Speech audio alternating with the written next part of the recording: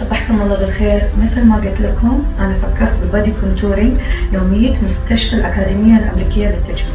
طبعا آه، حبيت أقول لكم مو آه، أنا مو مو خايفة أنا خايفه ميته من الخوف بس الحمد لله بشكر الله الكريم مطمنة لأن أنا بايادي امينه والحمد لله أنا بايدي امينه آه، دكاتره professional مستشفى professional معاملة جدا رائعة وراقية.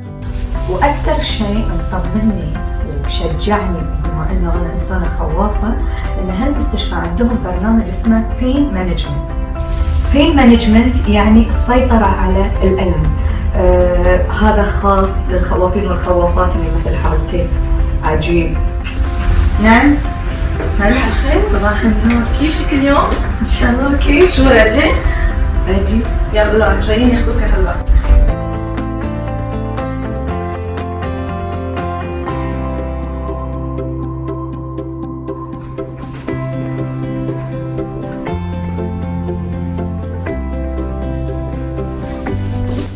صباح الخير. شو بقى بعدك بتدخل للغنش للدلع أنا لازم اتدلع كيفك اليوم؟ الحمد لله. تمام. بدك القناعات يصير ليش ما بيصير؟ يلا. أنا بساعدك يلا. اسمعي خليني أروح تنمال وبساعدك شو؟ مش أحسن هيك؟ أنتوا قاعدة؟ أي والله أحسن من السرير. خبرينا تعبانة كيف كانت العملية؟ شو صار؟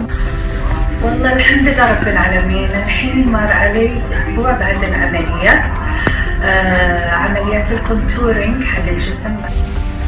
طبعا عملية الكونتور بعد عملية التكميم شيء ضروري جدا وهي أحدث عملية وصلوا لها.